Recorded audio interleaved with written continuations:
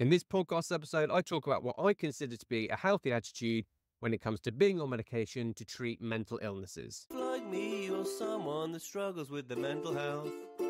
Yes, I know it's a pain in the ass, but you are not alone. As you'll see from this podcast. Hi there, my name's James, and thank you so much for checking out my podcast.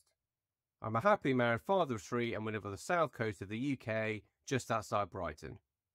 I'm on a mission to support people who, like me, struggle with OCD. The thing that I have found that's given me the most comfort, or a lot of comfort, when dealing with this is hearing about other people's experiences of how OCD affects certain areas of their life, and maybe some suggestions of what they do to combat it. After doing a CBT course that I did with the NHS that I was referred to by my GP, in 2010 I was told that I had pure OCD. This made a lot of sense and if anything, it was actually a bit of a relief to realise that I wasn't completely insane and I did actually have a mental illness. The problem with mental illnesses, unlike other illnesses or physical disabilities, people can't see them. So maybe it's the outside world, you might just be looking like you're being a bit odd or being a bit strange. I'm very lucky to have a very long suffering wife who will never get back those minutes when she sat in the car waiting for me to try and leave the house that I'm checking the door 10 times.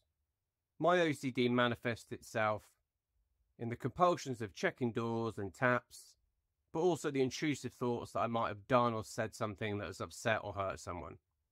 I really struggle with driving, and I'm not sure if I've ever had a car journey where I haven't convinced myself I've done something horrendous. The one thing I would say that does bring some comfort, if you're listening to this and you struggle with OCD or intrusive thoughts, is that you're really not alone.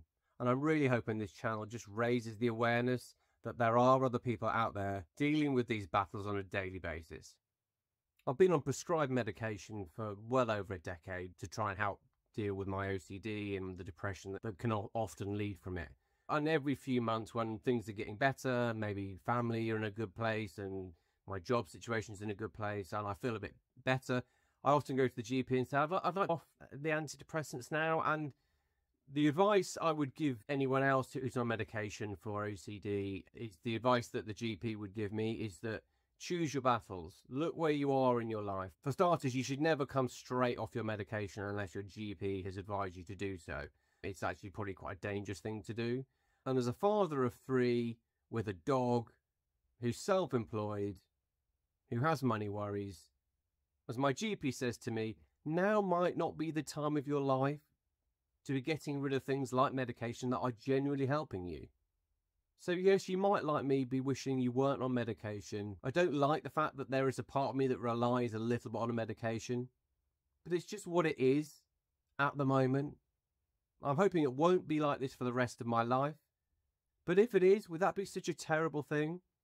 If being on medication, along with daily cold showers, along with doing creative things like this, along with doing jujitsu, along with taking the dog for a walk, if all of that bundled together is the thing that helps me function as a human being with OCD, is that such a terrible thing? And the answer is no. The one thing I would really like people who are watching this, who may be struggling with their mental health, who may be specifically struggling with OCD, is just be kind to yourself.